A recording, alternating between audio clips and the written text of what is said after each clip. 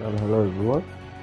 Today I'll be showing you all the personas I've used for merciless difficulty and what kind of builds I've made for my playthrough. Alright, uh, because I believe these are the best personas for merciless hmm. difficulty and if you follow them it will help you for your playthrough also. So so these are the following personas I'm using. In each and every persona you see you're seeing that I'm I have all the elemental effects like freeze, wind, nuclear, psi, electricity, curse, physical, ness. For Lucifer, I'm using fire and Almighty also, and I'm using Saraswati to heal my teammates. Right. So for Black Frost, Black Frost, you can see there are in all my personas. You'll find there are four stats which I'm prioritizing. Spellmaster, the two boost for but for ice and fire it'll be freeze boost and burn boost so that I can increases the chance of inflicting burn and freeze on the enemies. And technical attack. Alright so what, why I prioritize these two is because the ice boost gives me 25% damage bonus ice amp gives me 50% more and they can stack and even they, they also stack with technical attack. Because technical attack also gives around 25% damage bonus alright? So in all you have 100% damage bonus alright? And I'm only using one severe damage attack on all my personas. On some of the personas I'm using two if I have enough space. But for my Black Frost my Black Frost helps me to gain back a lot of SP because since I have element boost and freeze boost increases the chance of me inflicting freeze on the enemies and from Soul Thief I'm able to drain SP when I inflict any element. So for each enemy I, I freeze I get 5 SP. So when, when in, a, in an encounter when you're facing a bunch of enemies you'll be able to get a ton, ton of SP back. Alright. And the same goes for Saraswati. For Saraswati I use her for healing all my teammates but I'm using Debilitate on it and until you let her why but same goes here, the Spellmaster. And I'm using Sleep Boost and Lullaby because when you inflict sleep on an enemy, all your elements and physical attack get a technical effect on them. You get the bonus damage if you if you do if you damage with any of the elements with on an enemy who's sleeping, right? And I do not use fear, forget, and brainwash. The two I prioritize is dizzy and sleep. Yeah. Then my next persona is I'm using Fortuna. On my Fortuna I'm using Concentrate. And like I said, the four four stats I'm prioritizing are Spellmaster, the two boost, and Technical Adept. And I'm using Vacuum Wave, and Spellmaster is very necessary for Fortuna because once you inflict burn status effect on any of the enemy, you get bonus damage on inflicting wind damage to that enemy. Alright, and since it becomes a technical effect on that enemy. With Technical Adept, it's basically 100% damage boost. And Spellmaster helps you to like utilize a lot of SP. And for Mot, same here, nuke amp, nuke boost, but I'm using Dizzy boost and Nocturnal Flash on this one because Dizzy works the same like the sleep effect, but Dizzy helps to like once the enemy is dizzy, all your elemental attacks and physical attacks now have a technical effect on them, which helps you deal a bunch of damage, a huge amount of damage on the, on the enemies, right? Then there's Phornius. Now Phornius, I had a lot of space left. I just put forget over here for the just for nothing. I don't have any use of it. I mainly use Psychoblast and the four thing, four skills I told you to prioritize. The two boosts Spellmaster and Technical Adept. You can use all you you can change these two if you want. Alright, they don't actually matter much. Uh, for Thor. For Thor, same. Uh, since it's uh, electricity, you need shock boost also. So for Thor, there are five. There are basically five skills you want to prioritize: shock boost, electricity, electricity boost, electric, electricity amp, spellmaster, and technical attack. Now I was lucky enough to find null wind because Thor is is weak against wind and I'm using evade psi because I didn't have null psi also. Alright, and I'm using wild thunder. So Alice.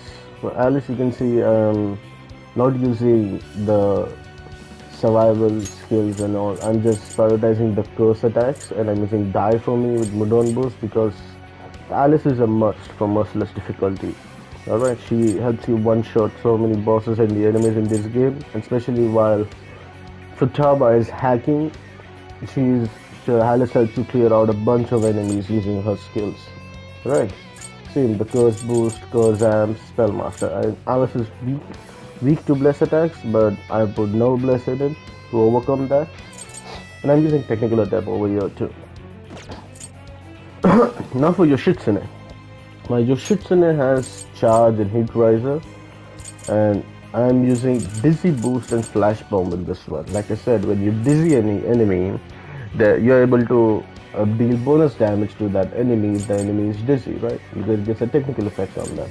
After once I dizzy an enemy, I'll usually go in a fight, use my flash bomb and dizzy a bunch of enemies, then use Hassou Tobi to deal a huge amount of damage. But I also at the same time using attack master to increase my attack and knockdown style. Because knockdown style helps me to decrease the decrease the down gauge at a very high rate. You know? See you can see it briefly decreases down gauge of 1-4 when landing a critical. And I'm using technical attack to give me bonus damage. So, but uh, Yoshitsune has one more thing. You can use Yoshitsune to drain, gain a lot of SP also if you want. I'll show you later. Now Metatron, like I said, I'm not using Debilitate on Metatron. I'm using prioritizing Bless damage for Metatron. So I'm using Bless Amp, Bless Boost, Hama Boost, and since he's weak to Curse, I, I was lucky enough to find Null Curse, so I gave it to him, and I'm using Spell Master and Technical Adept. I'm using Mahamaon and Makougaon. There are some enemies which on merciless difficulty they direct curse, they drain curse damage, or so many of them are null to them, so you cannot use Alice to one-shot them. In that cases, Metatron comes in. If they if they are if they are immune to curse, then they might be not immune to bless. Alright. It's very rare. Only some two or three enemies who are who are immune to bless and curse Alright, so you can use this and Hama Boost to help you one-shot those enemies. Again, Spellmaster helps a lot to utilize your SP. Now Lucifer. Lucifer, I'm using it to prioritize fire attacks.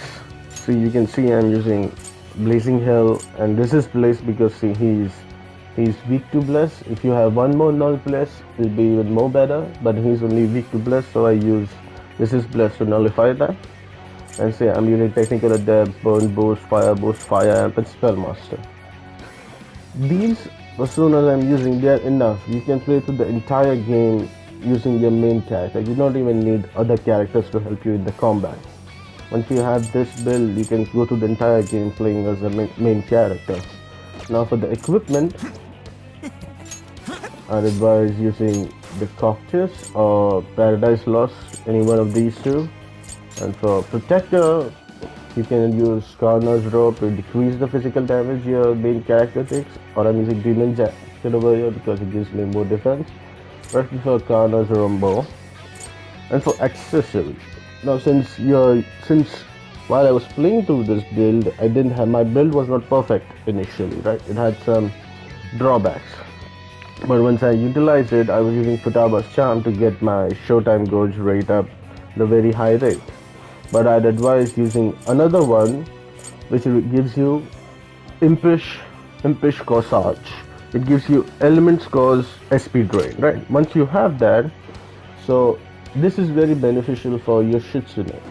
Because you can see that my Yoshitsune has flash bomb which I use to do a dizzy effect on the enemies. So and I have even dizzy boost. So if I dizzy a bunch of enemies I'll be able to gain a lot of lot of SP back. And same goes for Black Frost. So I'll showcase you Yoshitsune just to just so you all know what I mean. Alright. I'll just go to body. And let's see there's no one in my body. Explosion alright. Oh yeah. I'll just base some SP to show you all how fast I'll be able to get back my XP. Alright. Now I'll go do Yoshitsune. I'll go here. Start the fight. Alright. So now I'm gonna use Flash Bomb to inflict Dizzy. Alright. Once I inflict the Dizzy, I'll give you technical attack to kill them all. You see the amount of damage I do? I even got 2 SP incense. I can use auto recovery, go to another one. Over here. Let's see, there are a ton of enemies over here. Now for each enemy I dizzy, I'll get 5 SP. So I use Flash Bomb C, I'm already at 99 SP now. Now if I use Technical, you can see the amount of damage I do. Right, now for Yoshitsune, you see, it gains a lot of health using his attack. So that's why I've given Diarahan to Saraswati. Alright. Then I go back to Yoshitsune and start using the attack again. Alright. Alright. So that's basically how my build works. I'll show you it again. Let's see, I have 65, 965. Once I use flash bomb, it'll be 999 again. You see? Then use technical and kill them all. Right.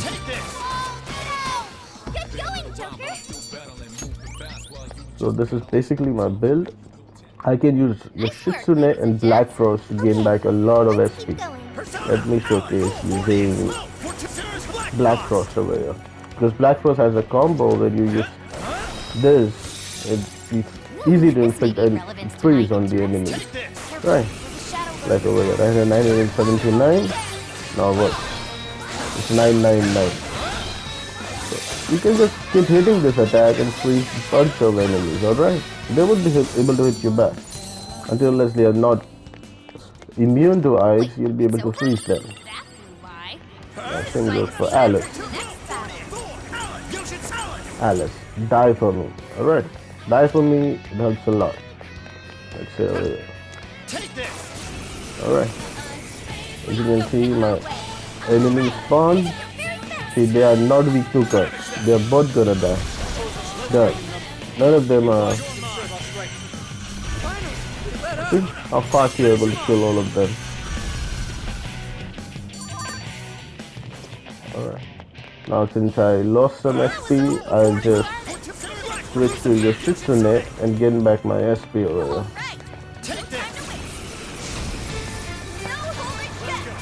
Flash bomb, get back my SP and then the critical damage. Alright, done. They're all dead. So basically, once you have this build, you do not need any teammates to help you in combat. Like Joker can finish the entire game playing alone. Alright. You can even kill all the bosses in this game by just using Joker if you have this build. I'll show you my personas again. Saraswati, Fortuna, Mot, Phoneus, Thor, Alice, Shitsune, Metatron, Lucifer. Alright. So it's gonna be difficult for you to get all these stats exactly the exactly the same on my on the same as my personas but because Alice is the only character who gets Spellmaster if you level her up alright so if you need Spellmaster on all your characters all your personas then you'll have to create Mokoi using using Alice. Alright and use Mokoi as a base to create all your other personas. And I advise that during the beginning of the game you come across any of the elemental effect, any skill card which increases the damage of any of your elemental effect, elemental effects. Do not use them for inferior personas. Just wait till late game and utilize those skill cards for higher tier personas. So, good luck. If you reach this, then you can complete the entire game just using Joker.